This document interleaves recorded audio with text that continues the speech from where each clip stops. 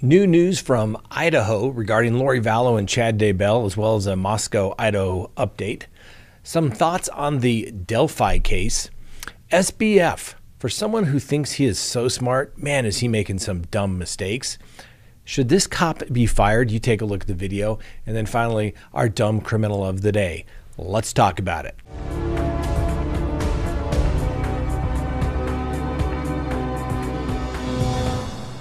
Good day, everyone. My name is Scott Reisch, and this is Crime Talk. Thanks for joining us.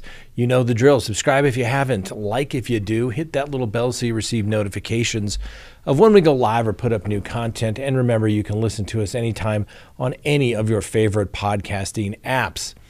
All right, before we get to the docket, let's support the people that support Crime Talk. Like many Americans, we got a dog during the pandemic. My quarantine dog, Miss Winnie the Bulldog. Now, Miss Winnie has grown accustomed to being around us all the time. When we were leaving the house, Winnie would have extreme anxiety, so we decided to look for natural products to help with her anxiety. We looked for the highest quality CBD treats, and we were not satisfied, and neither was Winnie. So we created a high quality CBD product that absorbs faster and provides the required results faster. Baked in Colorado CBD treats and beverage enhancers are made with nanotechnology. The nanotechnology makes the CBD extraction more pure, also allows for baked in Colorado products to work faster. Baked in Colorado products can help reduce your pet's anxiety, ease joint pain, and help with your dog's skin problems. Go to our online store and see what Baked in Colorado product is best for your dog. When you order at bakedincolorado.com, enter code WINNIE and receive 15% off your first order. We have a 30 day money back guarantee. If your dog does not experience the desired results in 30 days, return the product and we will refund your money. No questions asked.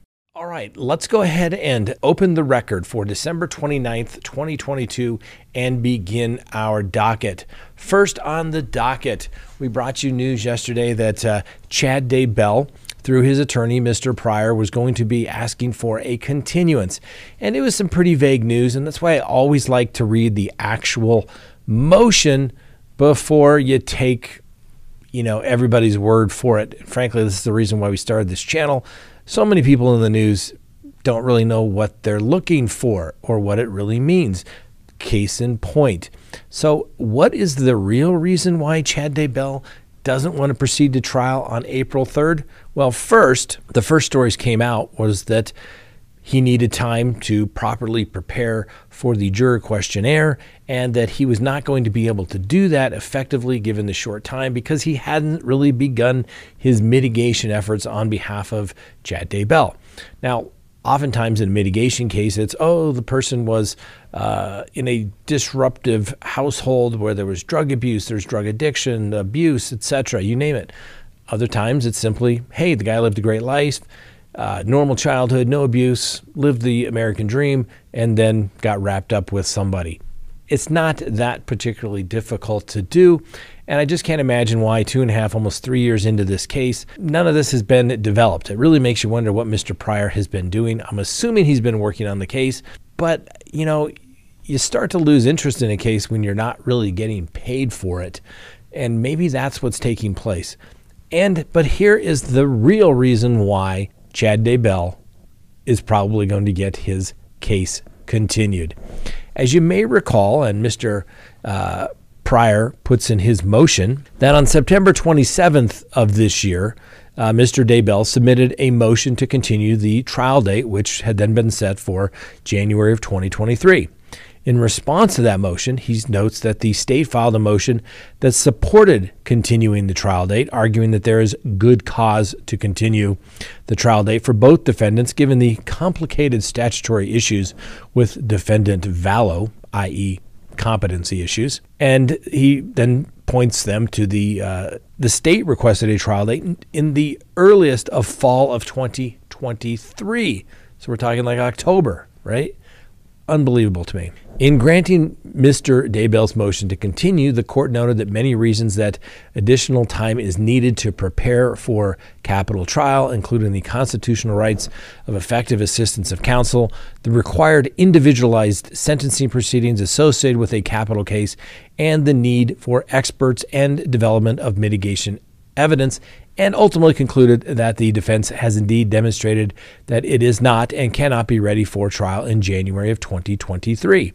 And then he cites to that motion. The interesting point of this motion is a footnote. That's where the real news comes from. And it says the court also noted that purely speculative arguments that some other attorney may at some point join the defense team and the new attorney would need time to prepare. At this time of filing the motion to continue, Mr. Daybell has not yet requested the appointment of an additional capital qualified attorney to the defense team. That's why the court said that it was speculative, right?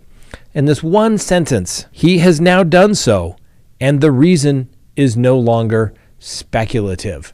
So it seems like a pretty much certainty that Mr. Daybell will get a second attorney. Appears to be a court appointed attorney. Mr. Prior may be court appointed at this point. And so that little footnote basically says it all. He needs another attorney, and that other attorney is going to need additional time to get up to speed, review the discovery, uh, strategize a theory, a theme, uh, develop motions issues, etc. So assuming the court grants this request, which it seems unlikely that the court would deny such a request given the severity of the punishment in a capital case, that it'll be granted, that the attorney will be appointed. And then that attorney is going to need time to be prepared. So, unfortunately, although I think two and a half years, three years in the making. Why was this request not made a year ago when this case was originally filed as a death penalty case? At some point, the court is going to have to admonish counsel for this lackadaisical performance as it comes to uh, requesting the necessary materials and uh, counsel uh, that they need to prepare for a case. But unfortunately, that's the news right here. It looks like Mr. Daybell is going to get new court appointed counsel, or at least additional counsel. And if that in fact takes place, that counsel needs time to prepare. The court would then be violating Mr. Uh, Daybell's right to effective assistance of counsel if they did not give them time to prepare. So, my prediction is, unfortunately, assuming there's new counsel appointed, which I think he will, the trial is going to get continued, probably until the fall of 2023. That's why you got to always read the motions. You got to be careful what you just read from the headline, so to speak. All right, in other news, police may be warming up to the idea of releasing a 911 call in the unsolved slayings of the four University of Idaho students the Moscow police chief, James Fry floated that possibility of making the recording public. He said, quote, I think it will be released when the prosecution believes that we can release that, uh, the chief said. And uh, the call also said a little about that, other than that it was placed from the surviving roommate's phone and that multiple people spoke with this dispatcher. And he said, well, that could be released at trial or maybe before. somebody needs to get on a single page out there. Uh, listen, it's a cold case. I don't understand why they don't release more information. I know, Scott, is it really a cold case? Listen, we're now seven weeks into it. No direct suspects, no hot leads. It's a cold case. The chief also declined to say whether anything specific on the call could help detectives make an arrest. He said, quote, I can't discuss that. It's part of the investigation, but as soon as we can release that information, we will. Police have said that uh, just before noon on November 13th, someone called 911 to report an unconscious person in the King Road house. Officers arrived to find Maddie Mogen and Kaylee Goncalves and uh, Xana Kernodle and Ethan Chapin, all deceased uh, in the house on the second and third floors. And the county coroner, Cathy Mabbutt, later said all of them suffered multiple stab wounds.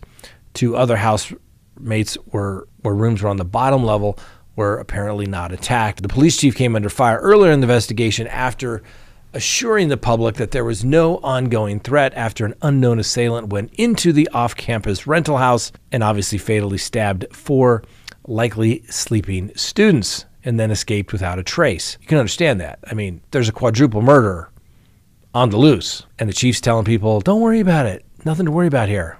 Don't worry about it.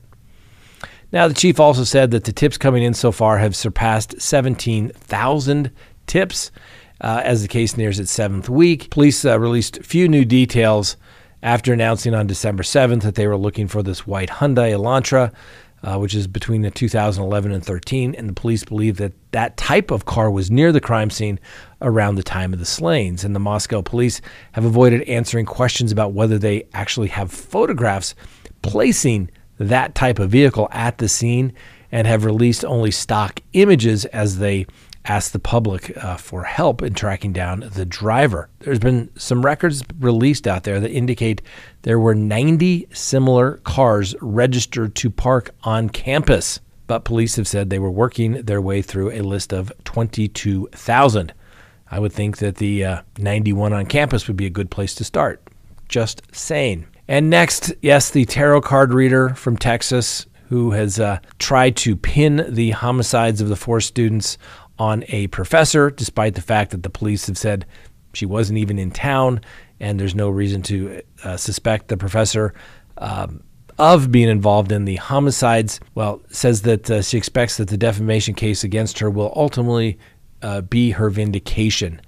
Now, as we brought you the day, Rebecca Schofield, an associate professor and the chair of the history department at the University of Idaho, sued this supposed TikTok personality Ashley Gillard earlier this month for defamation. Gillard took on social media to implicate Schofield in the murders um, back, that obviously took place in November. Now, Gillard said that Schofield is behind the killings and told um, a news organization in an interview that she thinks the jury is ultimately going to believe her. She said, quote, they will see in court why it is true. When I go to court, they will see the evidence and they will see how I connect the dots and they'll make a decision as to it pertains to whether they want to continue to live in blinders or believe it. If they don't, I don't care. Well, actually, she's going to care because um, guess what? Her little connect the dot is not coming in. She said she got it from tarot cards. That's about as reliable as me referring to the magic eight ball. Well, Judge, the magic eight ball said it was true. You would get laughed out of court it's not coming in. Miss Gillard needs to get for real. She needs to get herself an attorney. And I hear they're expensive. Expensive, expensive, expensive. Now, Schofield accuses the uh, Texas TikToker who says she's never met her on damaging her reputation as a professor and endangering her and her family. And the Moscow Police Department has not said whether criminal charges are being considered against any online sleuths but officials have indicated that the rash of speculation is taken focus away from solving the actual murders. So there you go, ladies and gentlemen. It's all your fault. If you have any interest, if you've given a tip, or you are looking into something, it's all your fault. If the police hadn't been dealing with all of your uh, crazy theories, uh, the police would have solved this case by now. No, no, no. So, like I said, the case is cold. Um, think of this fact. I thought it's a little disturbing. Just 54% of all homicides were cleared through arresting and charging suspected killers in 2020. That's the most recent information we have. That's marking the lowest murder clearance rate on record. Think of what that means. We're right now on the edge of becoming the first Western nation to allow more murders to go unsolved than are actually solved. Think about that for a minute. Let that sink in. What the hell is going on, ladies and gentlemen? Think about it. Leave me a comment below. Next, a couple of questions in the Richard Allen case as we come to the end of the year. Obviously, Mr. Allen was uh, charged with the murder of the two teenage girls uh, from Indiana, and his arrest was the first uh, real development in years in the 2017 cold case. Now, Libby and Abby were obviously found uh, deceased in the woods in Delphi, Indiana on Valentine's Day of 2017, which led to a multi year investigation of this small community, leaving a lot of people pretty hopeless. However, the suspect apparently was right under their nose, and it was revealed that Mr. Allen worked at a pharmacy as a technician at a local CVS and remained in the tight knit community before he was implicated as a suspect in the murder. So the big question is is is somebody else involved? Now remember, prosecutors revealed back in late November following Mr. Allen's arrest there there may be another suspect involved in the slayings. At the November hearing, the Carroll County prosecutor, Nicholas McLeland, argued against unsealing the documents, claiming it would jeopardize the investigation. The prosecutor the prosecution apparently believes that Mr. Allen is not the only suspect involved in the homicides. The prosecutor stated, We have good reason to believe that Allen was not acting alone, that there could be other actors. This is from the district attorney, Mr. McLeland. McLeland also argued that if an unredacted affidavit was released, witnesses in the investigation could be harassed. Now, after the hearing, Allen's attorney said that the revelations of the potential second suspect was news to them. If you read the probable cause affidavit, it does not mention anything about any other person. So that's interesting. So, when is the prosecution going to let us know, or when are they going to file charges against somebody? Now, we know, now there's been lots of talk that. Uh, Kegan Kline, who's been um, held in custody for over the last year on um, unrelated charges, whether he had some involvement, and the pol- prosecutors have somewhat whittled away his charges. But there's been no connection. Pretty soon it's going to be time for the prosecution to put up or shut up about their second suspect. Next on the docket, Sam Bankman Fried. For a guy who thinks he's pretty smart, man, he's dumb. So, Sam Bankman Fried has had several visitors to his residence uh, where he has been released on that $250 million personal recognizance bond. First, he met last Friday with Michael Lewis. He's the writer who wrote Moneyball as well as The Big Short. Apparently, Mr. Lewis may be interested in telling the story of the collapse of the crypto empire. Mr. Lewis met with Bankman Fried just hours after he landed in California. One could presumably think that they were going to talk about how he went from billionaire CEO to facing up to life in prison in the matter of weeks. Well, then from Mr. Bankman Fried's uh, cushy residence where he's staying his on uh, with his parents on Tuesday he had a visit from a uh, single crypto influencer who said that he seemed surprisingly optimistic ahead of his trial on multiple charges. Obviously, no trial date's been set. He's due back in court on January 3rd for an arraignment. The question will be will he enter a plea of guilty or not guilty? Well, Tiffany Fong, this crypto influencer, apparently stayed late into the night during her trip to see the accused fraudster who's hanging out at his parents' house. And obviously, he's been charged uh, with the biggest financial scandal in history. Now, Miss Fong, who specializes in crypto content, is the first person that uh, Sam Bankman Fried opened up to about his rumored polyamorous sex life in a phone call that was first published back in November. Apparently, Ms. Fong met with SBF at the uh, family's home library and they chat was strictly business. Fong said that uh, Mr. Bankman Fried seemed similar to how he always is, adding that he remains surprisingly optimistic, although aware of the gravity of the situation, referring to the potential prison sentence of up to 50, up to 115 years if he's convicted of all charges. According to Ms. Fong, he didn't seem to want to talk too much about the worst case scenarios, and he expressed regret and remorse a number of times during the chat for the customers who lost millions as a result of Mr. Bankman's Fried alleged financial misdeed that led to the FTX collapse. He's trying to gather his uh, take on events. He sounded like he was trying to gather his thoughts about what happened, um, noting that Mr. Bankman Fried was on his computer the entire time that they talked, but he wasn't appearing to be playing video games. Now, Mr. Bankman Fried can be on the internet, he just can't make any purchases over $1,000 or more, and he can't leave his home except to exercise, meet with his attorneys, attend court mandated substance abuse um, monitoring, as well as mental health treatment. So he has everybody come to him. And apparently, the parents have to approve who the visitors are, since, well, obviously it's their house. But you may say, Scott, why is this relevant? Well, it's like we always said it's always the defendant's own words that come back and bite them in the end. And as we've said it before, somehow everybody thinks that nothing anybody says will be used against them unless they tell it to the police. No, no, no. That's why you're advised.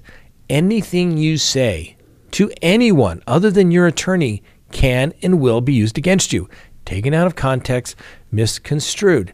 So these visitors, Ms. Fong, Mr. Lewis, guess what?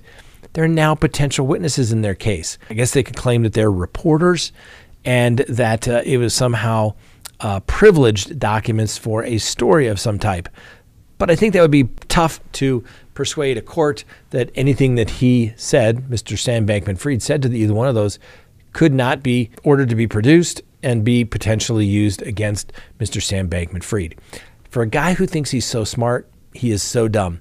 And I guarantee you, his attorneys, who are experienced criminal defense attorneys, told him not to talk about the facts of the case to anyone. But he does it anyway. Because guess what? Sam Bankman Fried knows better than everybody else. He's the smartest guy in the room. And that's just the way it is. Had a conversation very similar to that today. It's like, you're right. Don't listen to me. You know what you're doing. You're warned, Mr. Bankman Fried. You're not so smart. You need to start listening to people to know what the heck they're doing. You may be a con man, you know your business, but you got caught, so you're not good at it. So you might as well start listening to the people that are trying to help you. Next on the docket, should this cop have been fired? All right, listen to this story. The Tampa Police Department announced that it has fired patrol officer Gregory Damon following an internal investigation into arrest he made back on November 17th. The inquiry found that Damon, who is a six year veteran on the force, violated multiple department policies when he booked a female suspect who's seen in the footage, booked her into custody. So this, this woman, who has not been named by the department, was booked by Damon for sleeping outside a doctor's office and not leaving when employees asked her to leave. Simple trespass case. So the police revealed, uh, once they fired Officer Damon, uh, that the officers learned that the actions from police from neighboring Hillsborough County who, was, who witnessed the incident as well. He was relieved of his duties the next day as police probed the incident. Now, Damon's own body cam captured the incident in question, which occurred during the woman's arrival at the uh, jail in Tampa, which is a receiving facility for alleged offenders. People at the medical office had reported that the woman had been sleeping outside the building and was ignoring requests to leave the property. The same woman had previously been told to stay away from the property by Officer Damon personally, according to the police, and uh, was ultimately arrested um, by the officer at the spot in October on the trespassing charge. Her November arrest transpired about 10:19 a.m. Now, the history in the pair can be felt in just over the uh, five minutes of uh, video footage, which shows the woman arguing with Damon and refusing to exit his squad car after again being arrested for trespassing. She is heard in the clip yelling, I want you to drag me. She's saying this directly to the officer, who responds by grabbing the woman's arm and pulling her across the parking lot. The show of force came after the officer forewarned the uncooperative suspect who is still being prosecuted by the city I'm going to drag you out of this car. And the footage shows the fed up officer taking the woman by the arm, pulling her out of the vehicle, then moving her leg across a long concrete floor towards the central booking room where a sign reading Search Your Arrestee is seen. Throughout the encounter, the woman can be heard berating Officer Damon. At one point, as Officer Damon drags her. The officer stops and puts down the woman, giving her another chance to stand up.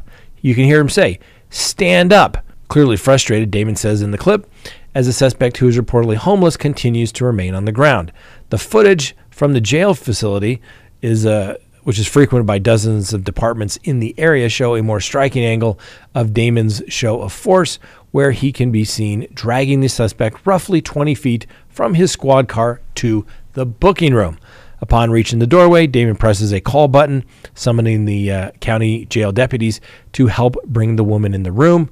The jail is run by officials from the sheriff's office. Now, in the release from the Tampa Police Department, they said that Damon's actions uh, were unbecoming of a senior officer. And the interim police chief uh, said professionalism is not only expected, it is demanded in every encounter our officers have with the public, regardless of the arrestee being uncooperative or unpleasant in return. As law enforcement officers, we are held to a higher standard. The female suspect was um, booked into the jail, and records indicates that the 46-year-old uh, woman provided an address as a Tampa facility uh, for homeless people. Records also indicate that uh, she was released days after a mental health hold. The criminal case against her is currently making its way through the courts. The police department's policy on dealing with uncooperative detainees states that the officer should request assistance from jail booking staff if met with resistance from a suspect. And the police said they tweaked their policies way back in 2013 so that Officer Damon should have known about this when dealing with an uncooperative person. Okay, let me know what you think. Okay, this is the kind of crap that officers have to put up with. And don't get me wrong, I truly believe in holding cops to a higher standard uh, than your everyday citizen. But when somebody is literally saying, I want you to drag me, okay, be careful what you wish for. I'm kind of of that mindset. What are they supposed to do? Go get a, a, uh, wheelchair and wheel this woman in who's been uncooperative, doesn't have anywhere to stay, so goes back to the same place. And they say, hey, we don't care where you go, but you just can't stay here. You need to leave. I don't know. Frankly, Officer Damon, I think this is a good time to go find other employment. I'm sure there's going to be other agencies that will hire you. Um, I've seen some bad cop conduct over the years, and I just don't see this one rising to that level. So, I don't know, ladies and gentlemen. I guess you get the police force uh, that you desire. I just don't think this is one that rises to the level of uh, termination. Let me know. And finally, today, our dumb criminal. A Georgia man's attempt to rob a business on Christmas morning didn't exactly go so well when he slipped on a patch of ice while trying to get away. Luis Sambocha Ordonez allegedly hid behind a business and pulled out a gun demanding cash from an employee who exited the rear of the building early Sunday morning about 1 a.m. Now, he's been charged with armed robbery and aggravated assault, and police said additional charges are possible. And uh, police said that the uh, attempted robbery led to a physical altercation between uh, Mr. Sambolchuk or Ordonez and the employee who was not named. And I'm just going to say, I don't know if he slipped on the ice and his face looks like this, or if the unnamed employee gave him a good old fashioned, you're not robbing me tonight uh, Christmas present. Look at that guy's face. That's what happens when you try to take things from other people that don't belong to you. All right, have a wonderful day. We'll see you next time on Crime Talk.